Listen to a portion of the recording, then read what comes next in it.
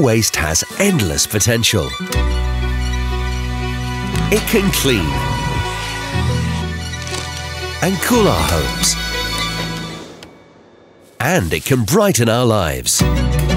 It can make our world more comfortable. And it can enhance our success and push us forward. By 2024, waste will become a new source of energy for Dubai